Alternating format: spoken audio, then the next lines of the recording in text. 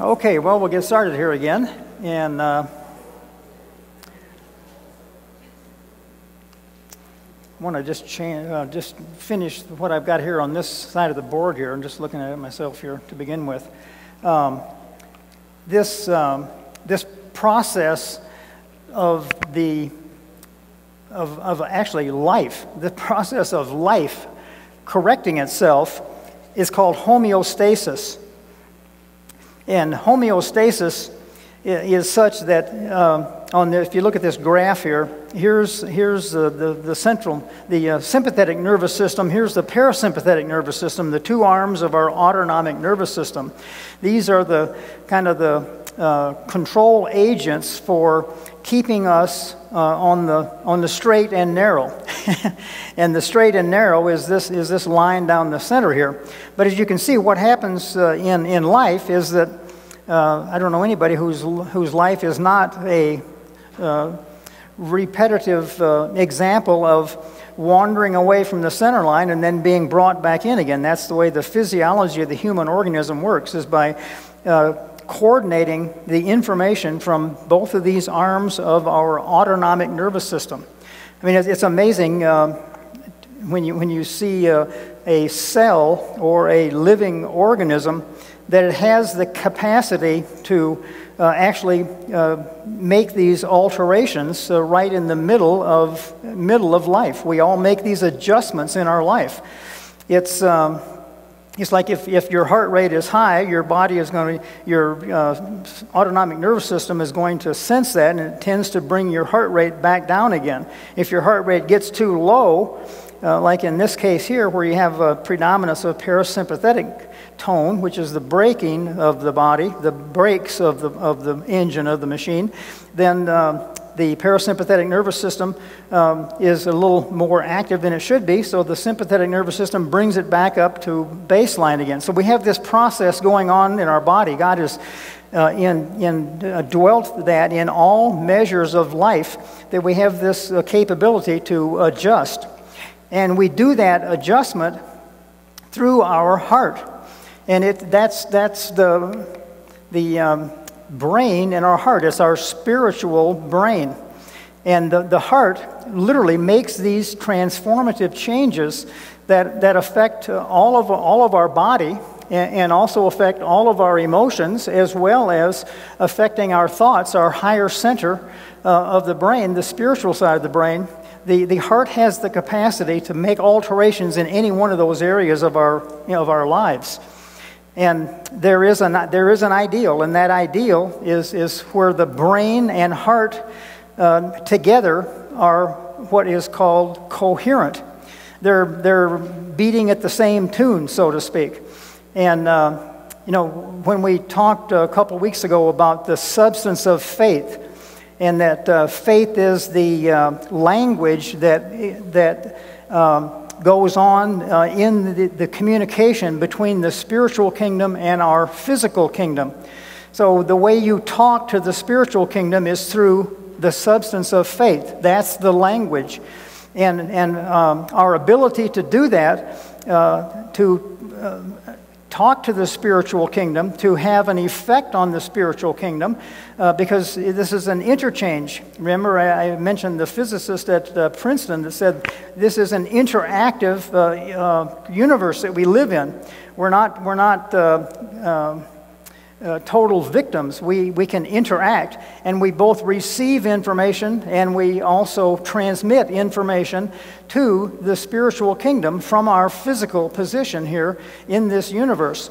And what we're trying to accomplish, we're trying to maximize the effect that we have. We're trying to maximize that power from within. Um, we're trying to maximize the. Uh, power that was referred to in our, in our verse in uh, 2 Peter, uh, where it talks about the divine nature. We have this divine nature. If you have Christ, you've got this divine nature. Well, if that divine nature is in here, then how do we, how do we have it manifest itself? And the way that benign, that uh, divine nature manifests itself is when uh, we maximize the ability to uh, have our faith flow out of our spirit. And in order to do that, it runs through the heart and it involves the brain. And there is such a thing as heart brain coherence.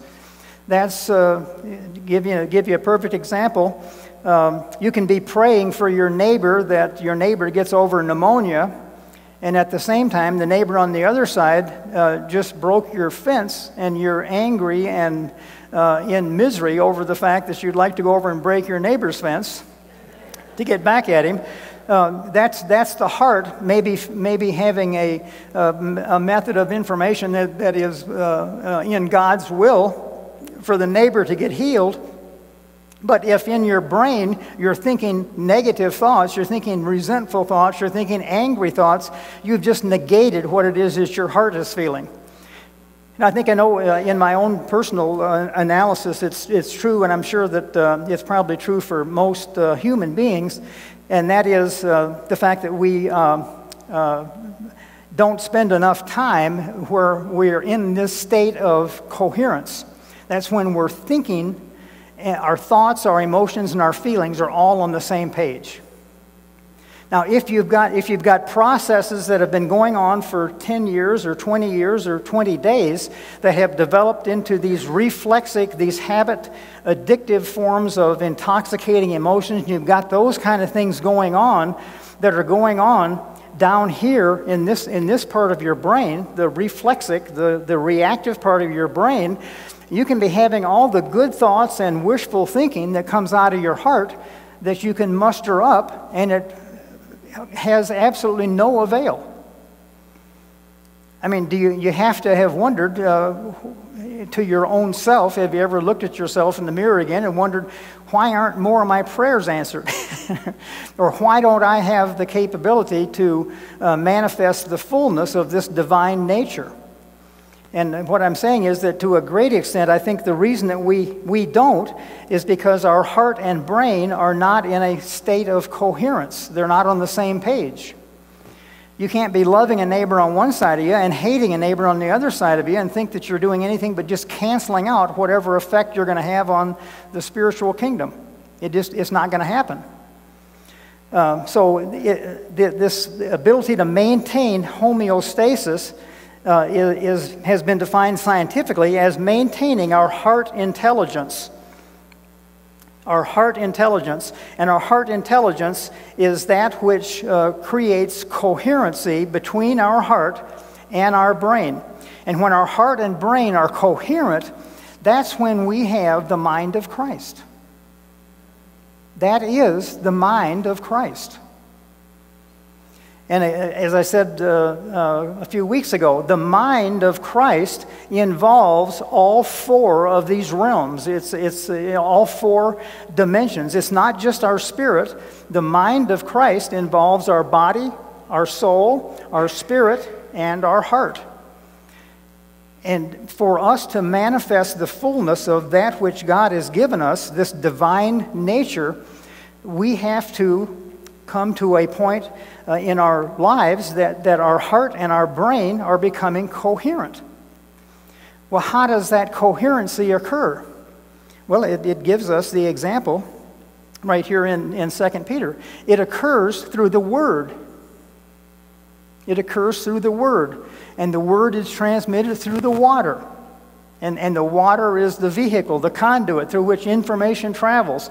And um, at, the, at the very substance of, of everything below all of this, in, including the, the heart brain coherence, is Jesus.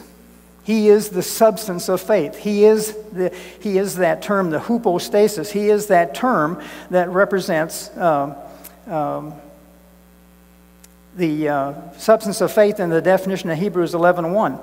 So in order to activate that, we have to come into this state of coherence. Well, what, what does that uh, look like?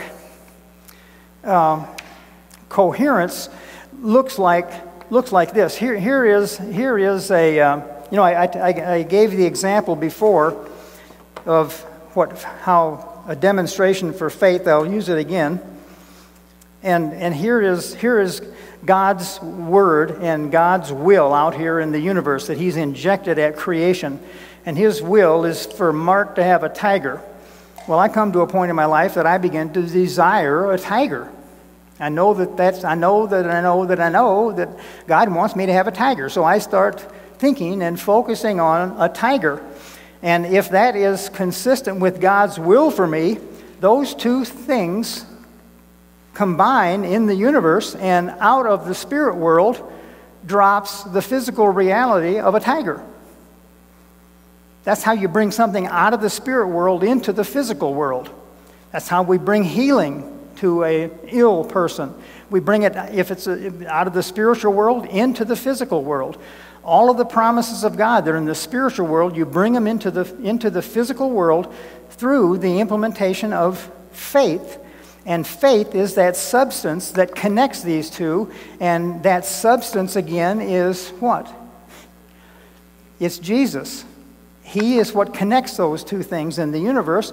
And when those two things become connected, then we develop a physical tiger in the physical kingdom. Um, this, this isn't just spiritual talk. I mean, theoretical physicists today will tell humanity that if you will create the reality of your life that you create, is exactly uh, co- coincides and coincident with whatever you put your focus of attention of your mind and heart on. If you put the focus of attention of your brain and your heart on an element in the spiritual kingdom, that's what you will bring in to yourself. That's the power of attraction. That's that whole attractive, attraction thing.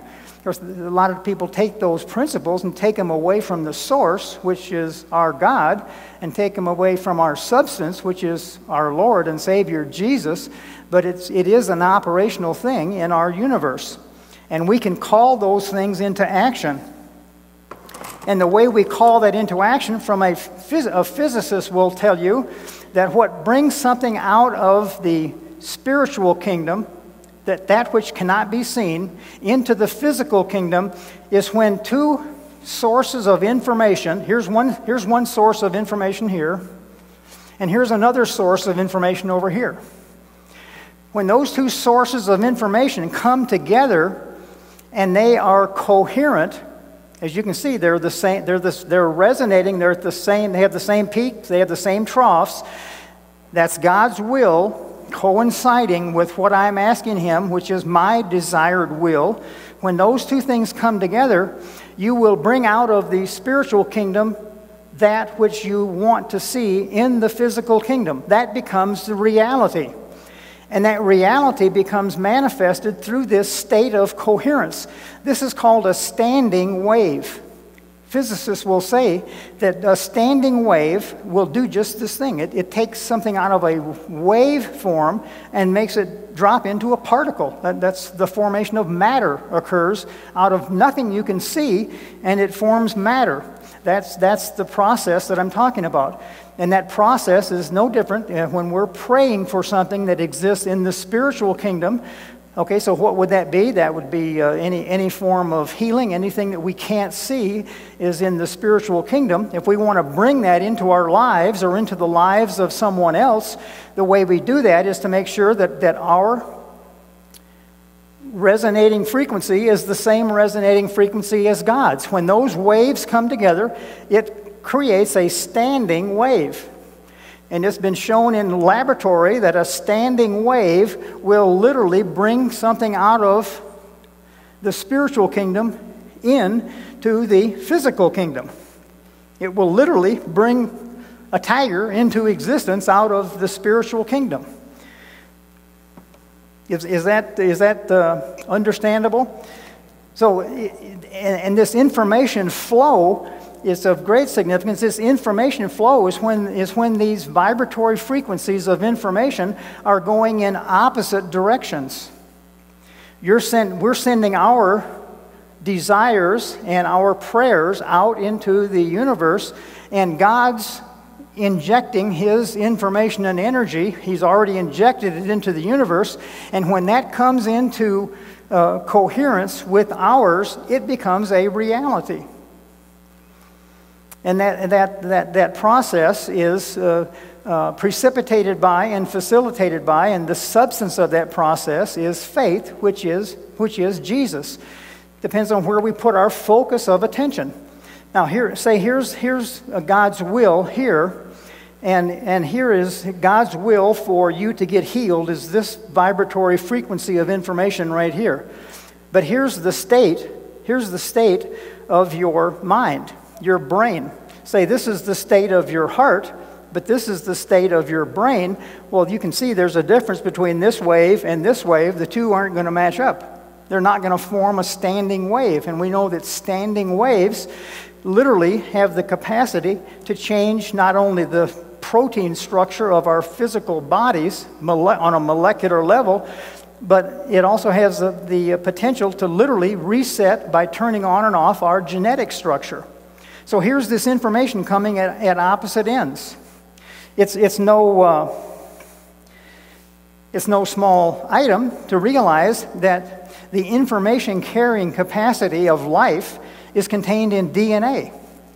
And DNA is, is contained, contains two different strands. There's two different strands, and you know that the way DNA is, DNA is not parallel. It's structured in the human body in an anti parallel situation. So you have information going up this arm of the DNA, you have information coming down. And when those two arms of information become resonant, become coherent, that's when we develop a standing wave, and you can literally change the genetic structure, the expression of the genes in your DNA through this interchange of, of information. And that's, that's what we uh, attempt to do as, we're, as we are praying for healing, as we're praying for any one of the promises or desires that we have and that God has for us. The, the other factor um, is the fact that the faith being the substance of uh, faith, being the substance that we're talking about, substance can either be uh, accessed or transmitted through one of two ways. It can either be transmitted through a straight line here, that's, that's called analog. That's information uh, uh, management that has a constant stream. It would be like if I had, uh, let's see here, if I uh, shine that light, there's a constant stream of light between here and you, correct? Constant stream of light. Okay, that, that's this. Now, I don't, I don't know anybody who said this, but it's a revelation that I've had, and that that's not the way the universe handles faith. Faith is not dispensed to human beings uh, in the form of a straight line. It's, it's, this is analog. We live in a digital world. A digital world, meaning the information can either be this or it can be that. A digital world is pulsed and the reason I bring that up uh, is because I've often uh, wondered myself when, when praying for something and, and, and uh, thinking that, that my heart and my brain were coherent, that I had that side of the equation was covered, but yet I didn't see the manifestation of what it was that I was praying for. I think that if this is the way information is transmitted in the universe from God to us, then it's available all the time. You just reach out and grab it. It's there all the time. It's like a running hose. You just reach out and grab water. Well, I might get run out of here on a rail for saying this, but that's not the way faith is managed in this universe we live in. The universe we live in is digital, and this is the way faith is managed. And I, bring this up because how many times in the Bible does it talk about have patience and, and have perseverance? Well, if this is the way information is given to us from God, and this is the reason I think that a lot of Christians lose their faith, is because we think this is the way information is transmitted. So when we reach out for it and it's not there, we think, well, no dice. It's not there. I'll give up on it. I'm not going to have belief in it anymore because I've grabbed for it. I've done everything that I know how to do, and it's not there, so I'm going to give up on it. When in fact, faith is not uh, accessible to us in that form. This is the form that faith is accessible in, which means that I might reach out and try to grab a perfectly willful thing that God has for me in my life, and I come out with nothing. It's because it's not a constant stream. It's a, it's a, it's a stream that is digital. Faith is digital what that means for us is that if, it, if at first you don't succeed, you try and try again. You know, you, you don't just pray for something once or try to invoke the name of Jesus or, or a promise or a, uh, a part of God's will for your life and, and have it not uh, manifest itself in the form of reality and give up on it because that's not the way, that's not the way God constructed the universe. This is the way He constructed the universe. Now, does that have anything to do with anything? Well, let me tell you that uh, um, Albert Einstein, it was thought that, that light traveled like this right here. Until Albert Einstein said, no, light travels digitally, it travels in packets of information. Those packets are called quanta. That's where the whole field of quantum physics began. And those quanta of energy are just like this they're little packets of energy. And look what that knowledge, in terms of our management and living in the physical world, has meant to humanity. It's given us the capability to use electricity. This, it's, it's, behind, it's the technology and knowledge behind the internet and all the electronics that we're using today. So I think if we know that this is the way faith operates, knowing that, and I would challenge each and every one of you to think about this. Don't, don't accept it on my word, but just think about this and see if this isn't the way you find faith working in your own life and in your universe. And read the Bible and see if the Bible says anything different now that you know this to be the case.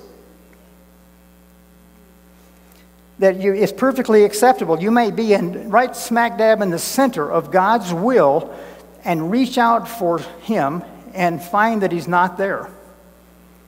And rather than give up faith and turn around and walk away from it, never, never, never, never, ever give up. because for whatever, whatever reason, uh, the digital packets of faith that are being uh, manifest in our universe, uh, it may, may not have been the, uh, the time that, that it was accessible to you. But don't ever, don't ever give up. And now in, in medicine, I saw, I saw uh, people giving up all the time, way, way, way, way, way too early. And I would beg, borrow, and plead with people don't give up. Keep, keep praying for that which you want to see happen. Put your total focus of attention on it. Focus, focus on God's Word and, and uh, allow God's Word to make manifest in your life all of those divine provisions that He's done for us. And if we do that in, in, in earnestness and, and we uh, uh, open ourselves up to the, the fact that uh, we don't ever give up, we, we continue persevering, uh, and we have patience, then those qualities are going to pay off because we will see the reality um, and most of the time, this occurs, and I'm sure you can attest to this in your own life. It occurs a lot of times that when you're questioning something and you're in, falling into a stage of doubt, you're wondering if it's really true or not, or if you have any substance to your faith, and you're about ready to walk away from it, and that which you wanted all of a sudden is there. You find it, and thankfully, you didn't walk away from it. So, this, this, this uh, is, I, I think, uh, important as we look at how we are to ac- access this power of faith uh, that, we, that we have in this universe that we live in. Um, let's see. Okay. I wanted to, to share with you I, uh, the uh, probably the, the, the, premier research institution in the country today that has to do with looking at the science and, and of the spiritual heart is uh, uh, an organization that I mentioned a couple times ago. I mentioned it's the, uh, the, uh, heart, the Institute for HeartMath. It's in uh, California. And HeartMath have done studies for, since, it was, uh, since its inception back in the early 90s when HeartMath was formed. And, and they're the ones that study coherence. And I, have looked at their studies of coherence and, and what they talk about in terms of the heart resonating with the brain or uh, the heart not resonating with the brain and the effects that it has on disease and illness and mankind.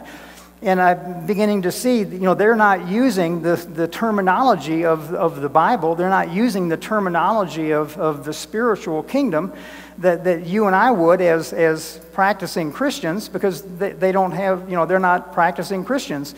But they have a phenomenal amount of, of information about the um, structure and function of our heart in our heart-based intelligence. And uh, I have wanted to bring to the world evidence that, we, that it is perfectly possible for us as human beings to bring our heart into a uh, position of coherence. And that when we co- our heart becomes coherent with God's heart, that's when we see the manifestations that are miracles. That, that's when they happen. When our heart becomes coherent with God's heart, and I mentioned a few times ago, I mentioned compassion because Jesus had compassion. I was trying to engender in all of us to think, well, what is that feeling that we get in our heart? If we want to replicate what Jesus did in his own life, how do we, how do we replicate what he had in his own life? And uh, that, that led me into, into thinking more and, and giving more consideration to our heart based intelligence. And I'm convinced that the Word of God is, is that which fine tunes our heart and our brain and brings us into this element of heart based intelligence that science says is the most optimal form of living on the planet Earth today. And I just spent an hour this afternoon talking to the founder and the head of the research department at HeartMath Institute. And I proposed to him that, uh, that I wanted to do a study showing using his instrumentation. They, have, they literally have instruments today that you can put on, and it will, it will give you a printout of, of whether your heart is in a state of physiological coherence.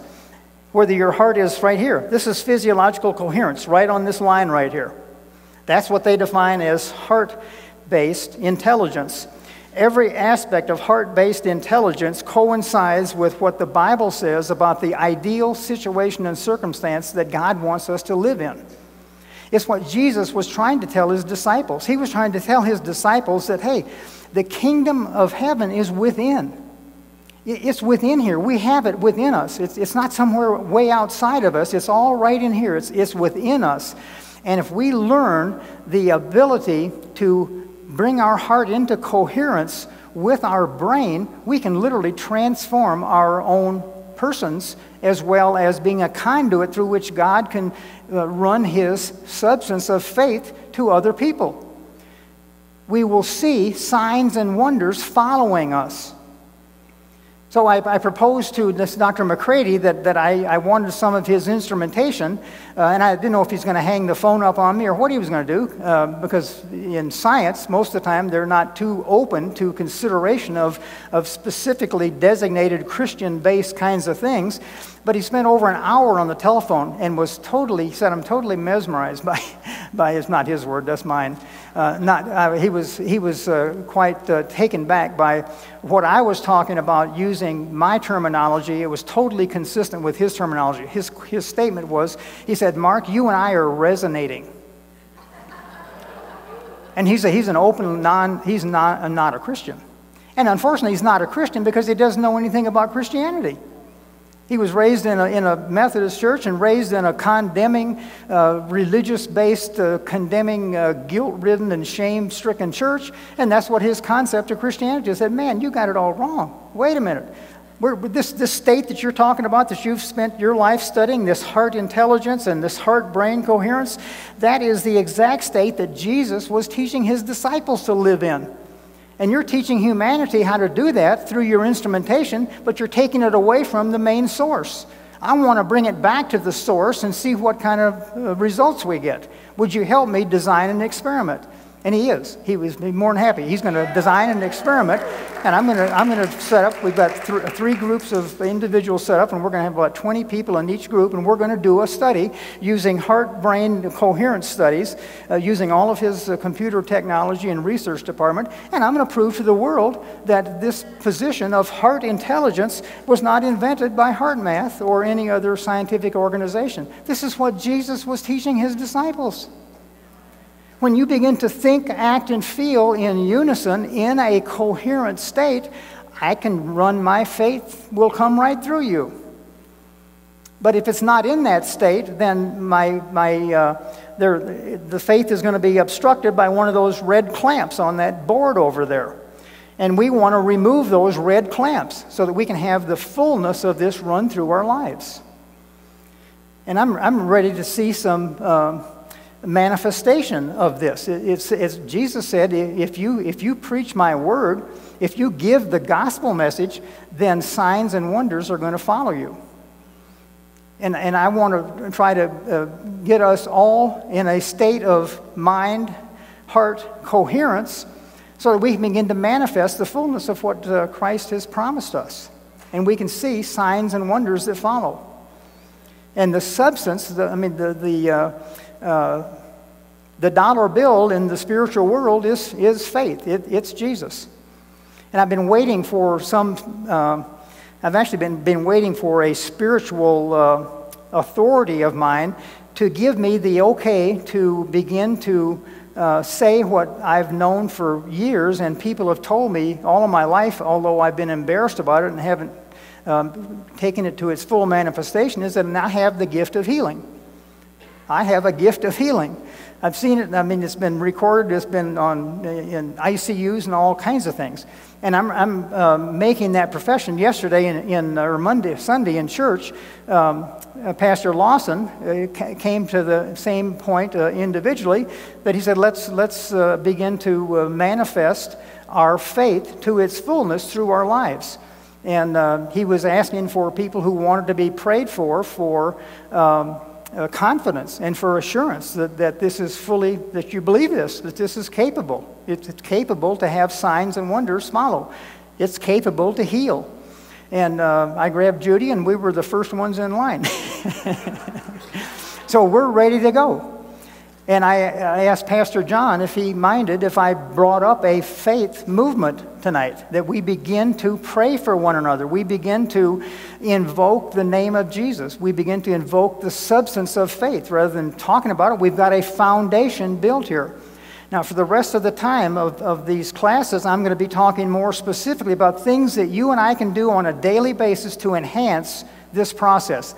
We've got a foundation now. If I started talking to you without a foundation about vibratory frequencies and all this stuff, you'd have thought, man, this guy has lost his mind. So you have to build this up. Okay, we've got it built up, and for the next few weeks, we're going to be talking about specific things that we all can do, simple things that we can all do in our lives that make us more uh, usable by God and allow the complete release of this perfected spirit that we have in us. And we can start that, uh, start that process tonight. So if anybody has uh, uh, any element of, of uh, need for their own life, uh, whether it be uh, an obstacle or a stronghold of, of resentment or anger or guilt or jealousy, any of those kinds of strongholds, which can be obstacles, we're going to corporately pray for those things. We're to, if, if, you, if you have a particular need, uh, you can ask someone sitting next to you, or there's plenty of faith filled people here. You can lay hands on one another and, and, pray for those things. If anyone has a physical affliction, doesn't have to be an, an emotional affliction. all of these are injuries to the human organism. They're all injuries, whether it's uh, abuse is as much an injury as a stroke.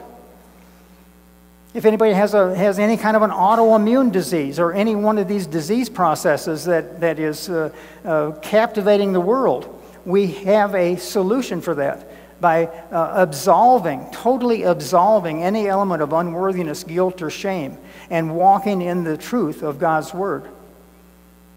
So, if anyone, anyone has a particular need, um, I'd like to pray for them. If anybody would uh, like to lay hands on another person that, that has a prayer request, feel free to do that. Does anybody have a, a need or uh, the compulsion to be prayed for? Okay. Okay. Well, do you want to come down we'll, we'll pray for you?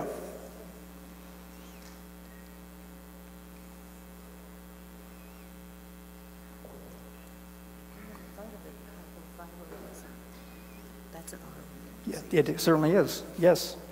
One of the most common afflictions is hypothyroidism.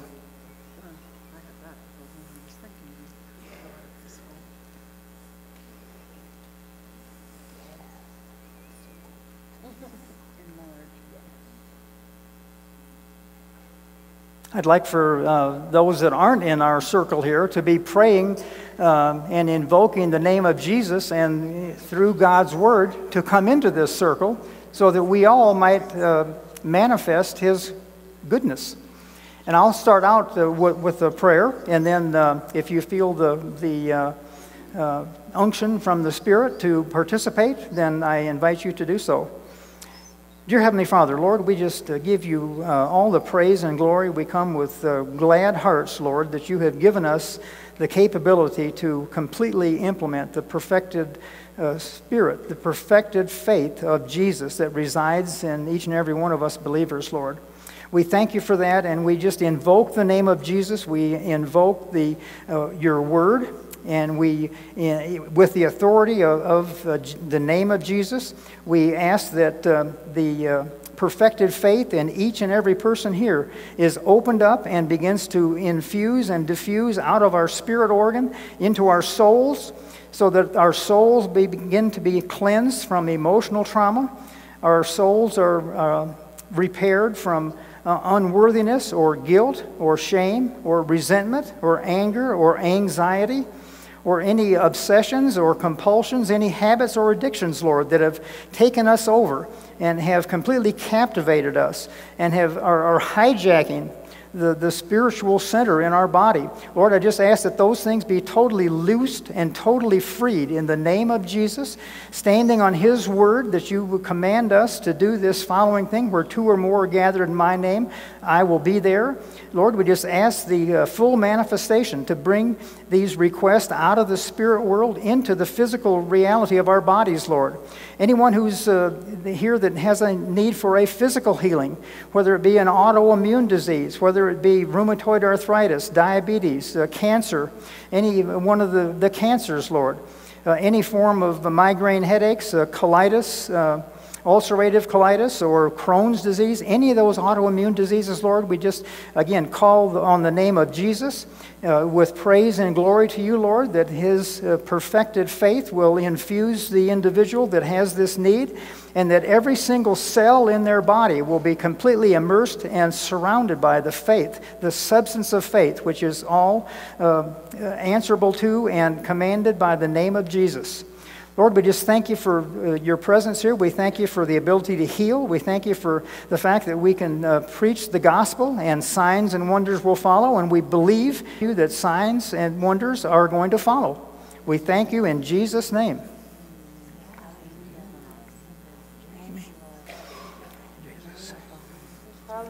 I hear the Lord telling me that, that He gives total permission for, for anyone in, in this room tonight to, to give up any uh, of the habits or any of the addictions or any of the patterns of behavior that have become self destructive or self replicating or self sustaining, that you have, you have no obligation to continue in that. That you have the permission and the will of Jesus Himself to completely eradicate those things from your life, to, to walk away from them, just like taking your shoes off. Take the shoes off and throw them in the corner and walk away from them, Lord.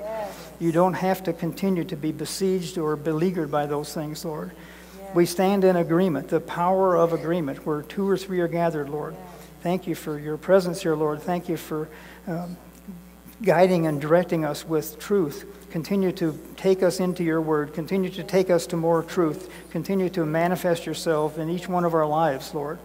We just uh, submit all these things to you in Jesus' name with glory. Amen.